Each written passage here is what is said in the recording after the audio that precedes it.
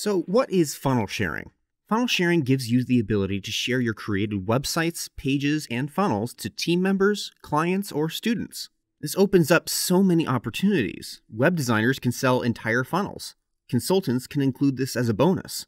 You can even use your funnels as a bonus to get people to sign up for GrooveFunnels. From your dashboard, select Apps and navigate to Groove Pages. Select your website.